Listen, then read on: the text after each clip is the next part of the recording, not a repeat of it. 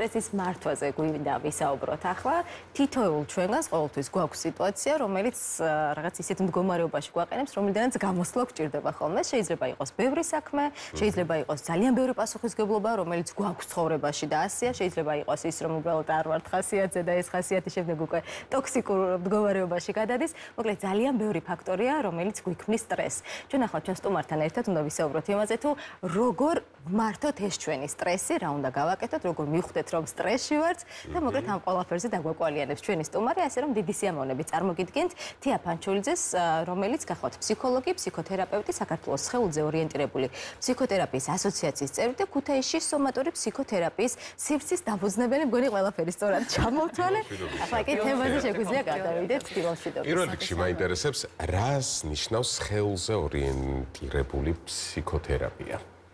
დიახ, პირველ რიგში ძალიან დიდი მადლობა და მადლობა ამ თემით დაინტერესებისთვის.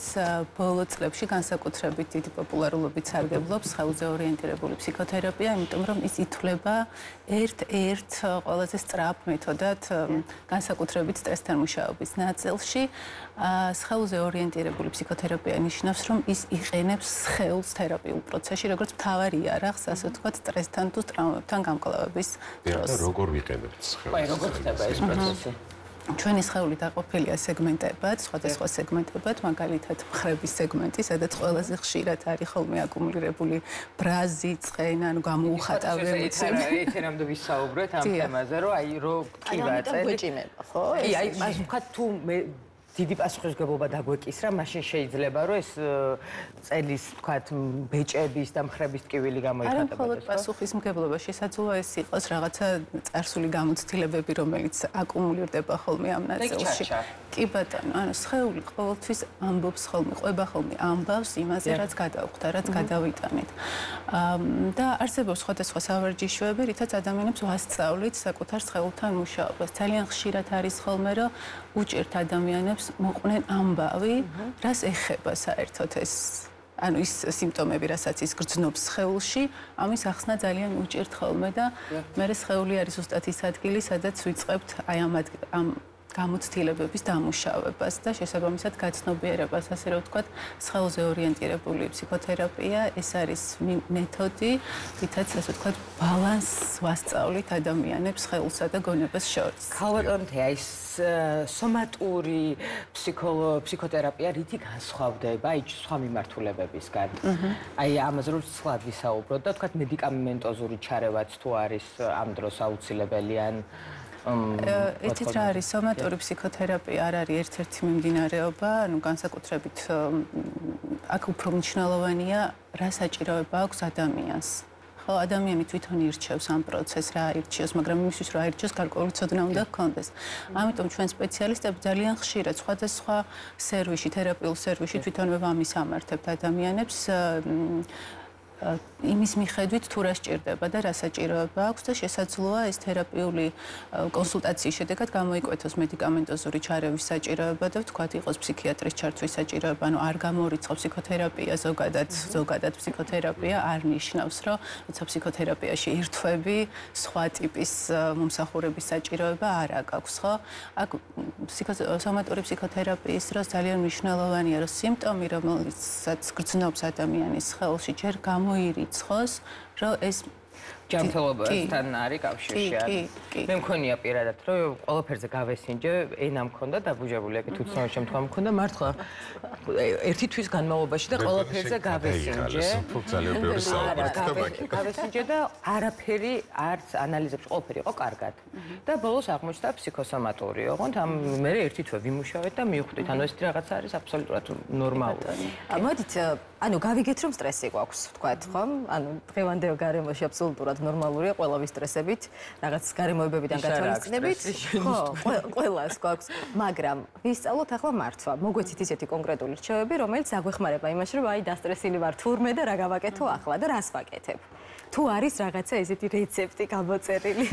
მოდი თქვათ, რომ პირველ რიგში ყოველთვის სტრესი ცუდს არ ნიშნავს. სტრესი შესაძლოა რაღაც მამოტივირებელი ფუნქციასაც კი ასრულებდეს ეხმარება ორგანიზებაში, წარმატების მიღწევაში და ასე შემდეგ. ამიტომ მას ყოველთვის ესეთი ნეგატიური კონტექსტით არ მოიხსენიებთ ხოლმე, მაგრამ არის ქრონიკული სტრესი, რომელიც მუდმივად როგორც ფიზიკური ჯანმრთელობის კუთხით, ასევე ფსიქოლოგიური ჯანმრთელობის კუთხით შესაძლოა საფრთხე შეუქმნას ადამიანს. პირველი არის ჩვენ როგორ ხვდებით, რომ სტრესი გვაქვს? აი როგორ ხვდებით, ხო? აი მაინტერესებს ყველაზე მეტად რა სიგნალს გვაძლევს სხეული. სანამ აი ესე ძალიან ფართოდ გამოვლინდება მაგალითად სტრესი. სხეული მაგალითად ფეხებში გრძნობ დაჭიმულობას. ხანდახან არის ხოლმე ისეთი აი მაგალითად მე რო შემოდიოდი გრძნობდი რაღაც პასუხისმგებლობას ეთერში უნდა დავჭი და აი ამაში ვიგრძენი აი აი აი მე ძალიან ხშირად გრძნობ მე ვთქვი რომ ამ რაღაცა ესეც ესეთი პასუხისმგებლობით ვეკიდები ხო ამ პროცესს. ჯერ ერთი მნიშვნელოვანია რომ სიმპტომი რომელიც შემოდის სხეულში ამ დროს როგორი დამოკიდებულება აქვს ადამიანს, ხო? ამის მიმართ, ამ სიმპტომის მიმართ. ეს არის ძალიან მნიშვნელოვანი ადგილი, ხო? იმიტომ რომ მე რო ეხა ეს მე რაღაცა მჭირს, ხო? ესეთი დამოკიდებულება მქონოდა და ეს გამოიწოდა შფოთვას, მაგრამ ამ შეგრძნებამ დამანახა რომ მე რაღაცა პასუხისმგებლობით ვეჭიდები ამ შეგრძნება და ინფორმირებული ხარ თუ ამკივა ესე იგი ამის ინფორმაცია ყველაზე დიდი თავდაცვა არის. ამიტომ როცა სერვისში შემოდის ადამიანი მაგალითად კონკრეტულად ფსიქოსომატური ფსიქოთერაპიის სერვისში პირველ რაზეც ვაკეთებთ მათ ვუხსნით ვასწავლით ასე რომ ვთქვათ, რა ემართება სხეულს სხვადასხვა სიტუაციებში, სტრესულ სიტუაციებში. ეს არის პირველი რაღაცნაირად, როგორც ვამბობთ ხოლმე ჩვენ ფსიქოგანათლება აი ამის შესახებ.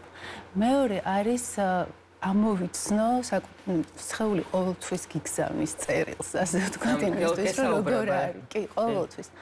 და მე ჩვენ ვასწავლით როგორ ჩამოუჯდა საკუთარ თავს და ელაპარაკო. მაგალითად, გამოიყენო სხეულის სხვადასხვა სენსორული არხები იმისთვის, რომ იყო აქ და ამჟამად სტრესის დროს რა გვემართება ესეთი დისტრესულ მდგომარეობაში, როცა რეალობაში არ ხარ აქ ხო? ყოს წდებით. ჩვენ ვართ ან წარსულ რაღაცა მოვლენებთან ან მომავლის შიში. ან მომავლის შიშიან ფოტოში. ხო? ამიტომ სხეული არის ერთადერთი ადგილი, რომელიც გაკავშირებს გაკავშირებს აწმყოსთან და მაგალითად კონცენტრირდი საკუთარ სუნთქვაზე, იმიტომ რომ სუნთქვა არის ის, რაც ყველაზე მეტად შეგახსენებს, რომ აქ ხარ, აქ და ამჟამად, რომ ეს არის ახლა რეალობა, რაც აქ ხდება.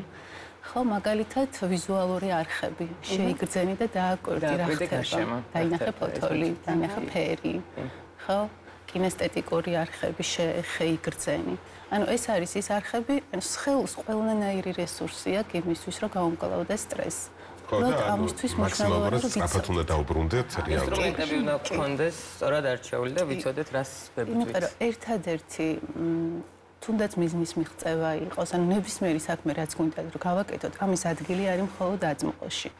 არც წარსულში და არც მომავალში. წარსული არის ადგილი, რომელიც გვასწავლის და რაც არ უნდა ტრამვული გამოცდილება გქონდეს, მას შეუძლია გაგზარდოს და მომავალი არის ის, სადაც ცვლილებები ვერ შეგვაქვს. უბრალოდ აწმყოარი ადგილი, სადაც მომავლისთვის რაღაცები შეიძლება რომ გავაკეთოთ. ძალიან კარგი, ძალიან დიდი მადლობა, საინტერესო საუბარი გამოვიდა, გარკვეული რჩევები მივიღეთ. ეს ინტერესant საინტერესო თემაა, რომ ჩვენ ნამდვილად 1 საათი კი არა 2 საათიც არ გვეყოფა ამისთვის.